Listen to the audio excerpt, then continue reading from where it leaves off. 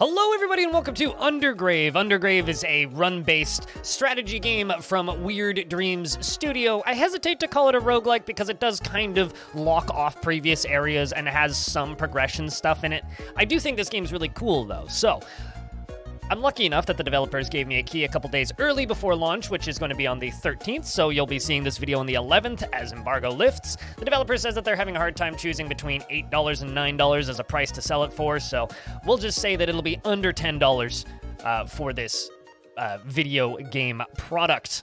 Now, Weird Dreams Studio kind of have a theme. They kind of have a style. They're all very mobile. All of their games are very mobility based, and they're all grid based. This is their first attempt at making a run based strategy game, and I think that it's got some neat things going for it. I really, really enjoy the tactics that it provides, and I'm going to do a run through of the starting zone, which I've already completed. So there's some me- some mechanics missing from it because I've already finished it.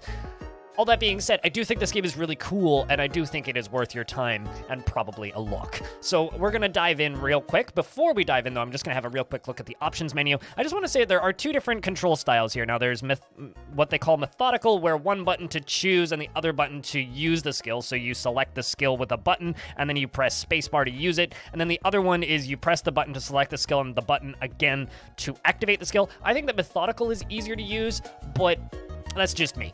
So we're going to dive in real quick. Now, when you launch the game for the first time uh, and go into this screen, uh, there is a big intro cutscene that happens. Um, this is kind of the the progression that this game has. So this is the starting zone over here. Uh, that green one down in the middle there was the uh, zone two. So because I've already completed the starting zone, I've completed it twice actually.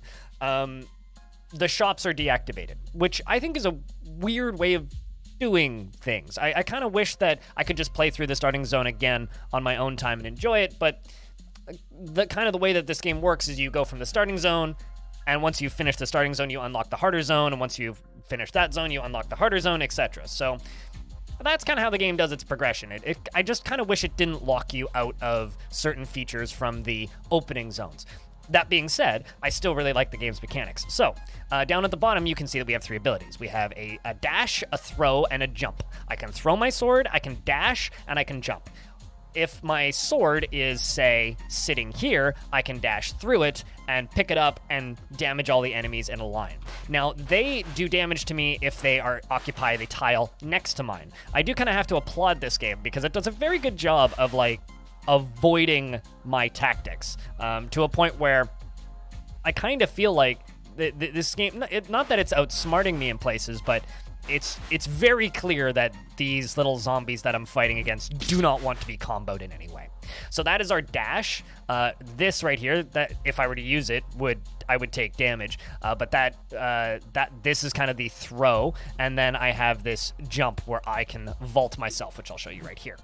So between these ver- this very limited move set, you kind of have to uh, big brain your way around all of the enemies. And that little orb that was on the ground there, I can pick that up and that'll charge the two little bars beneath my uh, AP meter. Um, charging those bars, once one of them is full, if I've picked up enough of those little orbs, um, then I can press V, which will then recharge my AP in a time of need, skipping turns. So rather than it taking me having to move to recharge one AP per turn, I can just press V and recharge four and have enough to use my jump ability, basically. Or I could have two bars of it and kind of save them for a rainy day when you really need them. Another kind of neat little wrinkle in the strategy of this is if you throw your sword and actually just leave it out on the arena, when you go down to the next arena, um, it will fall down before the first turn happens and kill one of the enemies on the map or damage one of the enemies on the map. But you don't know where it's going to fall. So you kind of want to pick up your sword, but it's also a neat kind of strategical option to just leave your sword in the arena somewhere and then come back and get it. I, I think that that's kind of cool. Ooh, they actually lined up for once. Would you look at that? Exploit. They don't generally do that. So now we fall in again. So after the on the on the little bar at the top, you can actually see what level we're on, and the boss is the kind of little Pac-Man ghost at the end. The little diamonds are normally shops, but because I finished this area, they are no longer shops. Um, the, the the the every every basically five maps is when you kind of start getting either more enemies or a new enemy type. By the end of this zone, we're going to have, uh, I think it's three different enemy types on the map at, at any given time. Um, you really don't want to take damage in this game because the it's kind of brutal in the yeah you don't need heals who needs heals anyway kind of deal um, so this game doesn't like letting you heal it doesn't like letting you have any kind of uh, pleasantries or niceties we're gonna jump in between here stun them both. This doesn't actually take a turn to stab them, and then dive up. I can't. So instead, I'll move up next to you and smack you. The two little stars above their head indicate the number of turns they have left before uh, they they become unstunned. So you kind of have to keep an eye on that. And now we drop in again, and we've got five of them on the screen. These zombies, I'm, I might be kind of steamrolling these guys, but they're not easy to fight, at least initially and I really kind of got get like handed to this game for doing a pretty good job of posing a challenging threat. I think what I'm gonna do, I'm throw that at you. I'm gonna dash through, pick that up. Now I'm out of AP, so I'm gonna move down, move down again, and then, oh, that requires three. Uh, well, I'll just throw my sword. And this is a pretty good opportunity, actually, for me to show you the sword falling mechanic that I mentioned. Although this is a shop, maybe not. So now I fall down to the shop, which currently is deactivated because I finished this zone. I'm assuming my sword is just going to fall into the next map then? Hmm. There's also some things I, I haven't fully discovered yet, like those little pillars on the sides there. Not sure what those actually do. All right, that actually fell somewhere kind of convenient for me, so I can move up, and I can actually dash through and pick that up. Perfect. And there's also these two little handy orbs. I don't know if I'll be able to get that other one, though. Uh, nope, because I will take damage. So instead, I'm going to throw my sword. I move down and dash through. Cut him up. Buttercup. A very, very, very satisfying combat. That's the one thing that I can really state, uh, especially uh, along, um, especially in relation to their previous games. Um, very, very, very, very, very satisfying feel to the uh, gameplay here. Let's see if we can jump over here. Bonk. Uh, I think I'm just going to move over here. And dash through. Take out that guy. So if I dash over here, that's actually going to... Well, I can't because I don't have enough uh, points. But if I dashed through there, then they they definitely hit me. I could throw my sword though. That might put me in a weird spot. So I think we're just gonna move this way, which is a bloody shame because you know I, I would love to be able to take out multiples in one turn, but we do our best. Uh, can I throw that? No, I'm out of EP. I want the orb too, but I'm not gonna get it. Right, let's just see where the sword falls down again. Because it's kind of a neat little tactic. Drop down. They spawn in. Where's it to hit? Okay. Ooh, wow. It dropped out two orbs. Now, this is our first new enemy type, this mouse. These mou the mouse moves uh, two tiles per turn, and something that you'll notice when you don't have your sword, uh, movement abilities are actually cheaper. So, there is that think... Hmm. I, hmm. I'm trying to see how, where can I move here where I don't take a hit? Because if I move there, that's, yeah, I guess up is the only place I can go to get away from this. I don't actually have the points needed to be, okay.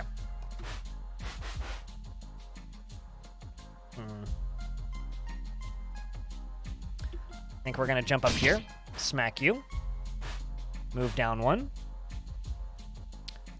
dash. Oh man, I can't. All right, we move up then. Oh man, guess this guy here was.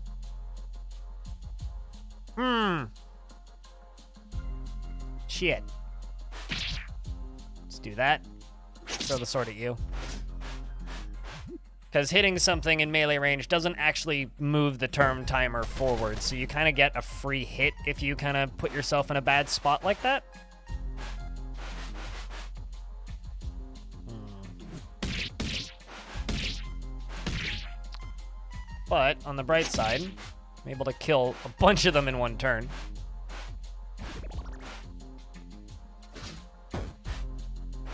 Let's move over and then just dash through you.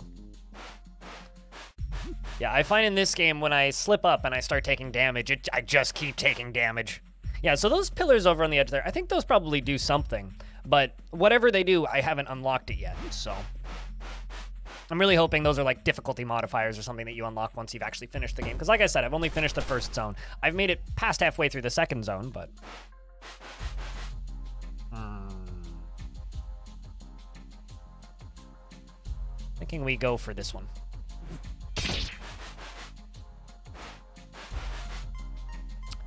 Really want to do that, but I think probably throwing the sword's the best course of action.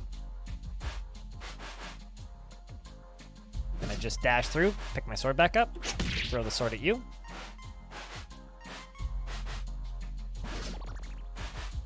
Throw the sword at you. Probably just rinse, repeat. Now uh, you can see that I can charge uh, my action points if I need to, but I don't need to, so I'm not going to. Let's go jump into the portal again. Um, hmm.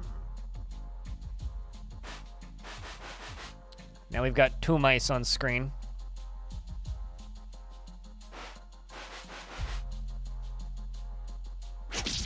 Just throw our sword up there. Work towards moving up. Dash through these two. Throw the sword at you. Dash.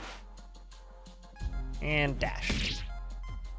Very, very, very, very, very satisfying. I love it. It's the classic, you know, I, I love it when a plan comes together kind of feeling. So this is our third enemy type. I'm not sure what those are supposed to be. They're like weird spider heart things. And all I know is that they're kind of gross looking. but um, what I do know is that they take two hits to kill. Whatever the heck they're supposed to be. Let's grab my sword. Unless you jump on them, which I do have enough points to do. So they take two hits to kill unless you manage to land your face on them. Let's throw blade down there and dash through you. And we're gonna move this way. Eh, maybe if I move up. Kind of hoping that they'd play along, but got him. Pretty smooth fight, I think. So the upgrades that you'd normally be getting at the shops are things like your jump goes two moves further, um, your dash costs two less AP, things like that.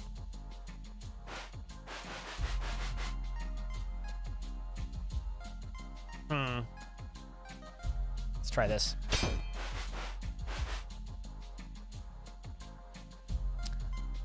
Thinking I do jump and then a second jump. Because this will allow me to kill you. And, okay, now I'm going to use the charge to charge my AP, and we're going to dash through these two.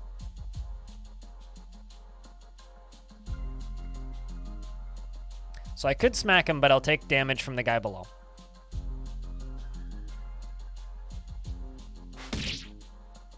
Potentially.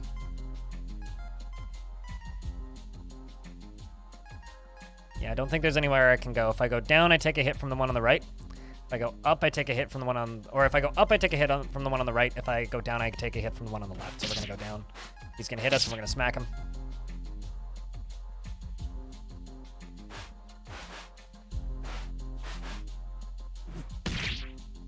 So this is this guy's the only thing left.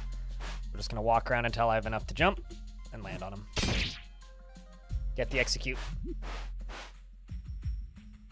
Downwards we go. Another little thing is uh, these screens are the only places in the game that you can save. Anywhere else, it, like if I were to leave right here, I would for I would have to forfeit my runs, so you can only save every four tiles.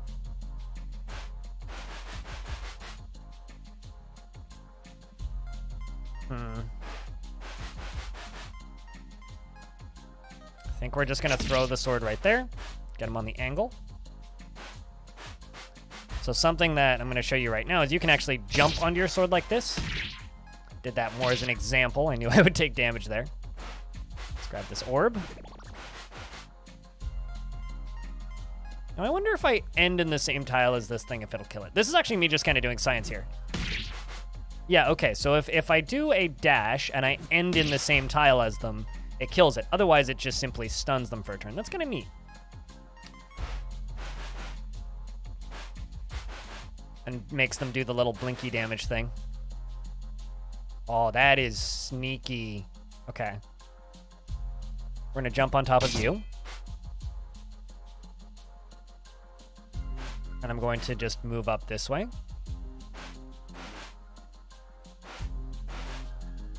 I'm going to dash through and take you out. We're going to just kind of kite him around until I have enough to use another dash. Oh, okay. Further down we go. Still such a satisfying combat feel. I love it. Move down, see if we can do a death from above. Death from above, bruv! I'm also kind of curious if the sword is going to kill these. Okay, no, it don't. Noted. Today I learned. I may actually die on this. Due to poor decisions.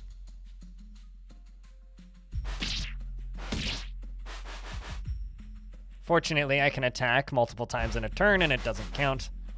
Let's dash through these two.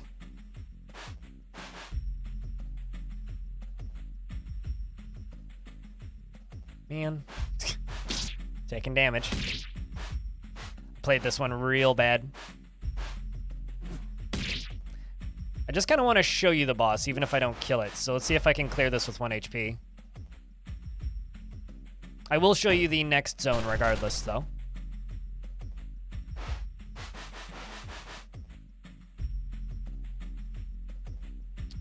Let's jump into the middle of all this crap.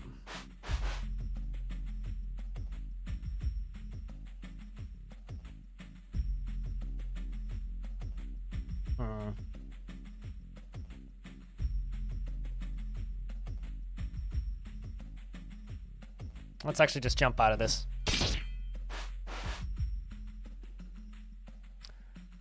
Zero AP. This rat's gonna hit me. I think I'm dead. Yep. Well, didn't quite make it to the boss, but I will show you the next zone. Let's just wait for the doors to open. So because I have already finished that zone, I've unlocked the Bloodroot Garden, which has different music and different enemy types right off the bat. So something that's kind of neat about this is because there's no like visual examine or anything, uh, you're kind of locked into just kind of experimenting with the enemy types that you see to kind of figure out what they do. So I think we'll just jump onto you and see what happens. All right. Have you ever played a game with jellies before? of course, they do exactly the thing that you would expect jellies to do. Clone themselves. Become two. Let's see if they follow me. Unfortunately, not as efficiently as I would want them to. Let's throw the sword, and then dash through. On to the next zone.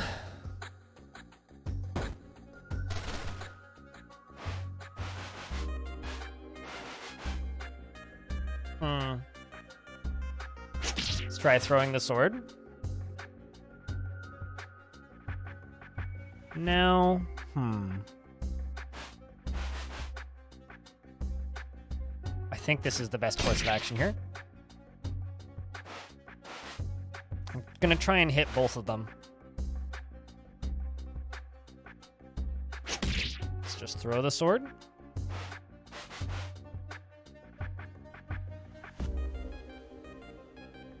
If I jump there, that's actually probably gonna hurt me. Do this. Hmm. Dash up and through. Don't actually have enough AP to use that.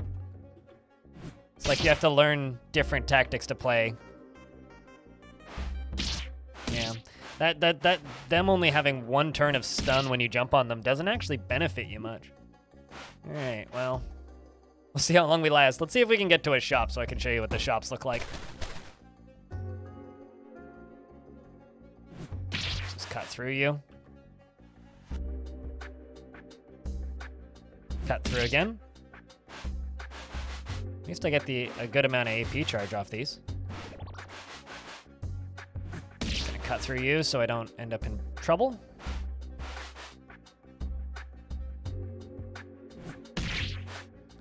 This way. Really want to grab that orb, but it's not gonna happen, is it?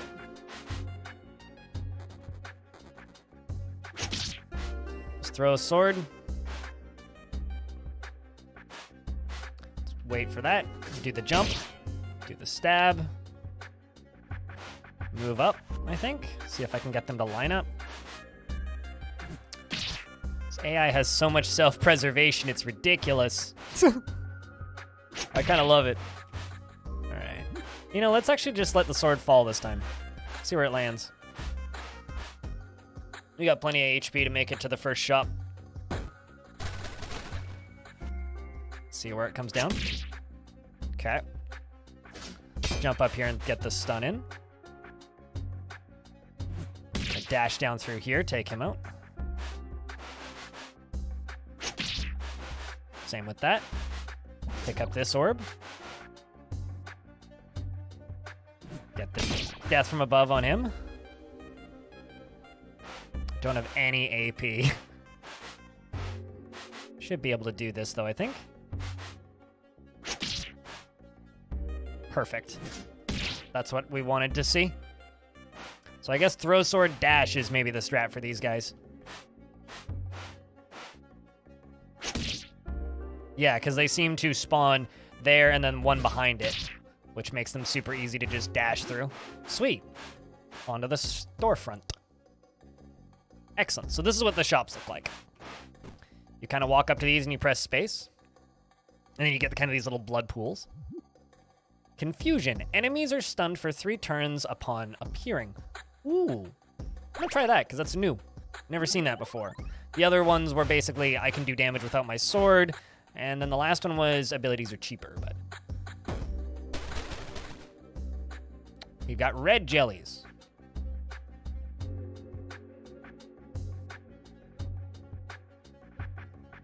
Hmm.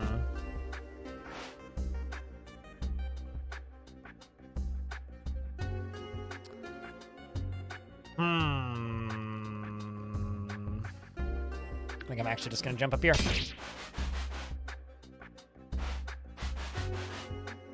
Curious as to why that green jelly on the left was going down there. Move over here.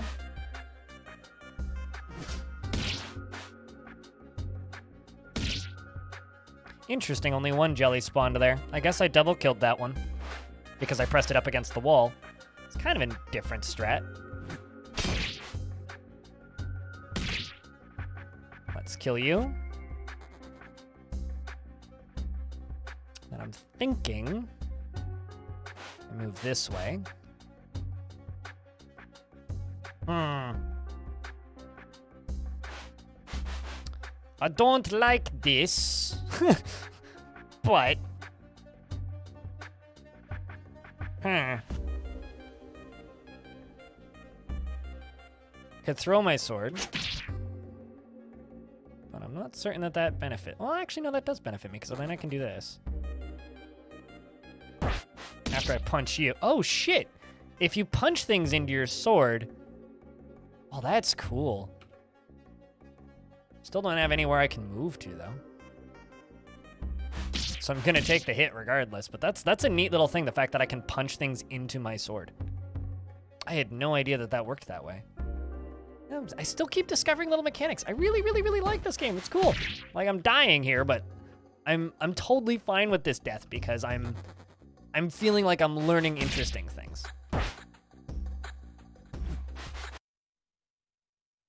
That's Undergrave, everybody. Cool little game. Awesome little run based tactics game.